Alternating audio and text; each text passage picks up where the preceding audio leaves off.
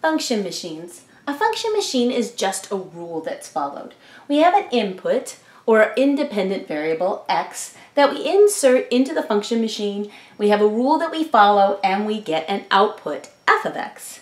So f of x does not mean f times x, even though it's written in a way that kind of implies multiplication. When we have those parentheses, we uh, have learned to multiply, but it does not mean f times x. It really is just the output, kind of acts like the y. So the y, when we have y equals x minus 3.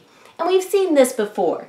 We've seen this function sort of rule thing happening, just not in this notation. So we can write it like f of x equals x minus 3. That looks a lot like y equals x minus 3. Now we can put in an input, follow the rule, and get an output. So in this case, we're going to find out what f of 0 is. That means we're inserting a 0 in for the input, and we're seeing what the output is. So f of 0, we're going to replace x with a 0, and then subtract 3. So that is our rule.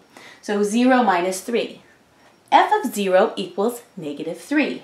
And we can represent this on a t-chart that you've seen before, where we have a 0 right here. When we insert a 0 into the function machine, our output is a negative 3. We can also find f of negative 3.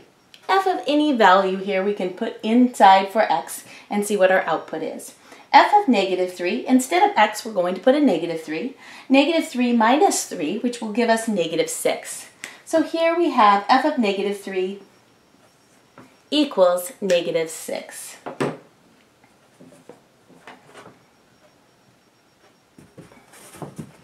So let's take a look at what this means graphically. So we have our input and we have our output. In this case, x is our input and y is our output. And so we can insert some values in here. We've already looked at 0, negative 3, and negative 3, negative 6. So our input was 0, our output was negative 3. Input, x was negative 3. Our output, f of negative 3, was negative 6. And we can see those values up here on the graph. So when x equals 0, our output is negative 3 right here. When x equals negative 3, our output is negative 6. So let's also take a look at this. If we were taking a look at this graph, we can see that this is a slope of 1. This is 1 times x, even though it's not written, and a y-intercept of negative 3. So this is what the graph of our function looks like. Let's also go ahead and find out what happens when our input is 3. So if our input is 3, f of 3 is equal to 3 minus 3, f of 3, 3 equals 0. And we can see that right here. Now let's take a look at using this graph and using our function notation to figure out what happens if we know that um, f of x is 2. So we know what our output is. Our output is 2, and it's asking for what, what is our input when the output is 2. Well, we can kind of take a look at this graph right here, and here would be our output, or our f of x is 2. What would our input be? So we can see it looks about 5 here. So that's graphically how we can figure that out. We can also do that algebraically. We have our function f of x equals x minus 3.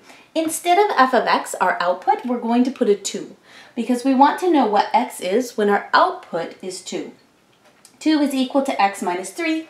Using the addition property of equality, add 3 to both sides, and we have 2 plus 3 is 5, x is equal to 5, which is exactly what we kind of guessed by looking at our graph.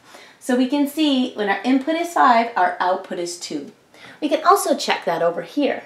So when our input is 5, we can substitute a 5 in here. 5 minus 3 is 2, so our output is 2. Now let's take a look at a little trickier one. So here we have an absolute value function machine, and we're inputting x and we're outputting f of x again. And here we have f of x equals the absolute value of 2 times x. This symbol right here, these two bars, mean absolute value. And what that actually means is the distance away from zero. So when we talk about distances, we don't say we're negative two miles away. When we talk about distances, we only use positive values. So my distance is going to be positive. So when I have this absolute value around something, and I'm taking the absolute value, it's going to be the positive value. So what is f of x when x is equal to negative 5? So our input's negative 5. So f of x we know is equal to the absolute value of 2x. So we can insert a negative 5 in for our x value. So f of negative 5 equals the absolute value of 2 times negative 5. 2 times negative 5 is negative 10.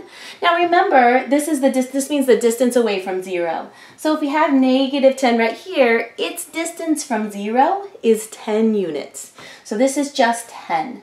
So f of negative 5 is equal to 10. Now, interestingly, we can look at what f of 5 is going to give us in this case. So f of 5 is equal to the absolute value of 2 times 5. So instead of an x here, we put a 5. And that gives us the absolute value of 10. Well, the absolute value of 10, you're looking at the distance from 0. And from 0, 10 is also 10 away. And so that also gives us a 10. So for two different inputs, negative 5 and 5, our absolute value gives us a quantity of 10 in both cases. And we can look at that over here. We can check back in with our function machine, substituting a 5 in here for x and substituting a negative 5 in here for x to see that we get an output of 10 in both cases. Now what happens if we're given f of x? So here we have our same function and our same input and output, and we're given that f of x is equal to 4. So our output is 4. They gave us the output and they want the input. So what is x? So we know f of x is equal to the absolute value of 2x. And so instead of f of x here, that our output, we're going to put a 4. We want that to be true. So 4 is going to equal the absolute value of 2 times x. That means the distance from 0 is 4 right here. So we can end up at negative 4 or 4, and that distance is still going to be 4. So the distance from here to here is 4, and from 4 to 0 is also 4. So inside here, inside this absolute value sign, we want that to be a 4 or a negative 4, because either way, we're going to get that distance of 4.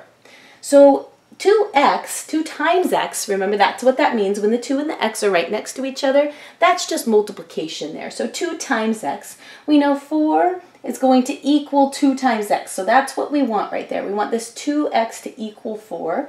So 4 equals 2x. We can divide both sides by 2, division property of equality, and we get x equals 2. But remember, this inside can also be negative 4. So negative 4 can equal 2x. So if negative 4 is equal to 2x, divide both sides by 2, again, division property of equality, and we have negative 2 is equal to x. So x can be, our input can be two different values to give us the output of 4. And that kind of matches what we learned in the last um, board. So here we had 5 and negative 5, both gave us an output of 10. And here we have 4, and we have two different ways to get 4. We can either have x equals 2 or x equals negative 2. And we can take a look at that to make sure that that works here or in our input. So if our input right here is, is 2, I can substitute a 2 in for x. 2 times 2 is 4. The absolute value of 4, the distance away from 0, is going to be 4. So that gives us a 4. Also negative 2. So 2 times negative 2, insert the negative 2 in here for the input. That's going to give us a negative 4. The absolute value of negative 4 is going to give us 4.